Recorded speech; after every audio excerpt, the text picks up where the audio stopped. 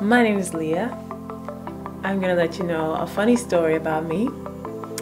It uh, happened a few years ago when I was in Miami, South Beach, and I was going to a art opening and I happened to think that it was okay to have some cocktails at the pool before the party and I was one of the guests of honor at the party um, and I got dressed up and fell asleep in my hotel room before I was supposed to be there.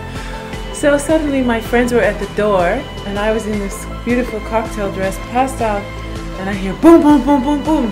Boom boom boom. Security security. I wake up put on my shoes and I start walking and I realized quite quickly that my dress was too tight to my knees and my shoes were too big. And I was late and was day drinking um, before the party. And I arrived to the party and celebrities paparazzi all these people and the whole time I'm thinking how can I walk with shoes that are too big and a dress that's too tight?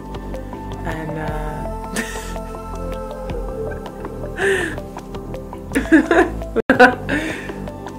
do you want to hear what happened next